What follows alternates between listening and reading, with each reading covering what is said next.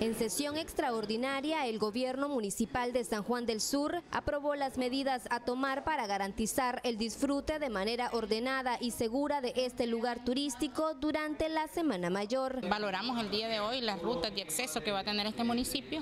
En este caso serían, eh, digamos, las tres rutas, que es la ruta de la Boca de la Montaña eh, hacia las costas del norte y la, otra ruta es la de Sonzapote eh, hacia el barrio de La Delicia, que es la vía directa para ir a las costas del sur. Consideramos que sí es necesario la señalización porque si la gente va, ya va a identificar dónde es que tiene que ir, ya ellos van a tener las vías necesarias y las señalizaciones necesarias para ellos accesar al lugar turístico. El resto de municipios que reportan mayor afluencia de turistas en esta temporada, como son Tola, San Jorge y Rivas, también aprobaron medidas de acuerdo a su demanda. Se le va a brindar las condiciones necesarias para que ellos puedan estar en familia, ya sea disfrutando de sol y playa, ya sea disfrutando también una actividad religiosa o verdad en familia, viendo este, los temas de seguridad, los temas de riesgo, los, los, temas de,